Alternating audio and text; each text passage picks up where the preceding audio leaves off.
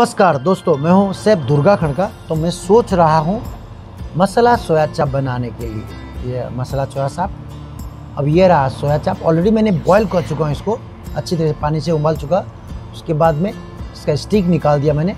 अब इसे छोटे छोटे पीसेस काटा इस तरह से काटना है और डीप फ्राइड करनी है इसे।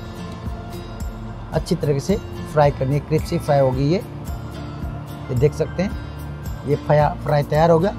और फ्राई पैन में तेल और जिंजर गार्लिक का पेस्ट और लाल रेड कलर का ग्रेवी और काजू पेस्ट और मावा मतलब खोया, कस्तूरी मेथी, स्वाद अनुसार नमक, ये रहा हनी और ये रहा बटर है थोड़ा सा और लाल मिर्च का पाउडर और ये सोया चाप का पीसेस मैंने डाल दिया। अब इसे पकाया थोड़ा। अब इसके बाद कुकिंग क्रीम डाल रहा हूँ मैं। ये देख सकते हैं। कितना डिलीशियस पक रहा है ये। ये लगभग पक चुका अब ये मैं प्लेटिंग कर रहा हूँ।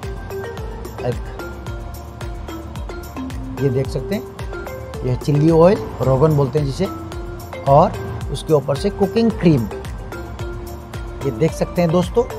Yummy and delicious soya chaap masala guys recipe by chef Durga Khadka Please don't forget to subscribe this YouTube channel and press the bell icon.